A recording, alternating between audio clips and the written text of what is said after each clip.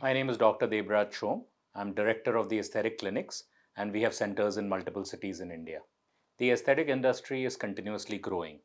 Today, the compounded annual growth rate of the aesthetic industry globally is about 40% year on year. The reason that this is growing is because disposable income is growing and people want to look as young as they feel. So, as a result of which, this industry is taking leaps and bounds. Technology is growing at a rapid rate, and India has followed the global standards in the same as well.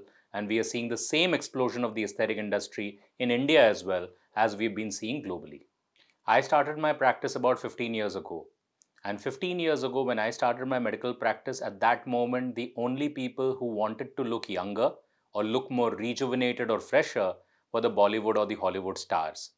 Today, every Indian wants to look better, and that's the power of the internet. Today, every place in India has become aspirational. So, as technology has grown, people have started to embrace the fact that they have only one life and they would like to look better during this particular life. So, uh, the entire industry has transformed significantly in India, where the working class and the middle class is actually a majority of our patients today, as opposed to the so called celebrities. Within the aesthetic industry, the hair growth or the hair care industry is one of the major segments. In fact, in India, it is the biggest segment. We Indians have traditionally been very conservative Many of us don't want to undergo cosmetic surgery to change our face. We've always been taught that we should be happy with whatever God has given us. But hair is something which everyone wants. And hair has traditionally been associated with India. Right from the initial coconut oil brands, everyone has been talking about long and lustrous hair. So, therefore, the hair care industry has grown significantly in India. Today, I would say, on my estimates, about 50% of the aesthetic industry is about hair. All those people who don't want to do a botulinum toxin injection or filler injection or cosmetic surgery procedures, all of us want better hair. So, from that perspective, the hair care industry in India is growing by leaps and bounds. Globally, also, they say that it's almost a $100 billion industry at this moment in time of hair growth and hair care. So, hair care and hair growth have always been and will continue to be a major segment of the aesthetic industry as we move forwards. The challenges of the hair care industry have always been that there has never been any permanent solution for genetic hair loss. Most of the hair loss that we know is either genetic or it's hormonal. And the challenge has always been that surgeries, which are hair restoration or hair transplant surgery, cannot be done just once. Let me explain what happens. Suppose someone has lost hair from the front of the scalp you could take hair from the back of the scalp and put it out here. But hair loss is a continuously progressive phenomenon. So at age 30, you may create the hairline, but at age 50, the entire thing right up till the vertex will empty out.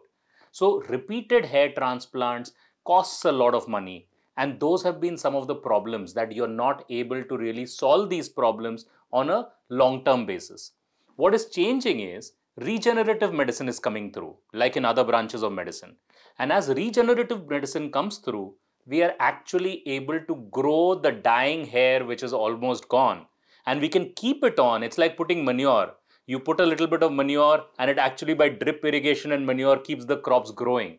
So that is what is really changing and that is the exciting bit that you can actually now grow hair without necessarily causing any sort of trauma to the scalp or having to remove scalp from the front back to put it in the front or to have to do it repeatedly.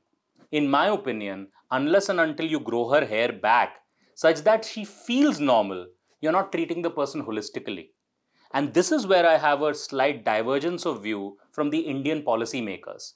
In Indian policy, we go ahead and look at every hair care patient or every hair growth patient as a consumer and put 18% GST because we think that this is a luxury item. In my opinion, the cancer survivor who's lost hair is not looking at luxury. They are just looking at confidence and they just want themselves to look like they were before. So I think the government should take a more holistic view of this and not charge these people GST because hair fall is also a mental and a medical problem. We actually started out on our journey in 2008 at that moment in time, I was working with the IIT Mumbai and the Tata Memorial Hospital. One of the big advantages that I had at my disposal was that we had a clinical practice where there were patients. we had the Tata Memorial Hospital, which had one of the best animal houses in the country, so that we could do animal research. And then we had access to some of the best brains in the Indian Institute of Technology in Mumbai, which allowed us to actually invent molecules. We were not working on hair. We were actually working on finding a solution, a nanomolecule carboplatin, which is a type of drug, for retinoblastoma and neuroblastoma, which affects children. While working on the, on the mice model for preparing these molecules, suddenly by serendipity, we started noticing that the mice model or the rats were actually losing hair in this particular area. One thing led to the other, and slowly and steadily we embarked on a totally different tangent of hair growth. Nanomolecule carboplatin, of course, that paper got published, and it is now the standard of care for all retinoblastoma patients. But the tangent that life took us on, or the universe took us on, led us to actually develop the QR678. And the QR678 is actually the hallmark of regenerative medicine. The QR678 consists of six biomimetic growth factors, which are produced from plants, so there are no real side effects. And the most important bit is the dying hair, which is the telogen and the catagen phase, gets converted into the living hair, which is the anagen phase.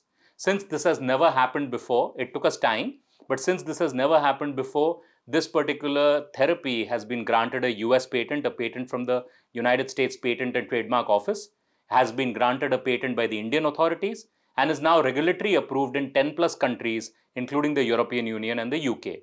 The QR678 is a small solution which is administered to the scalp and it causes hair growth.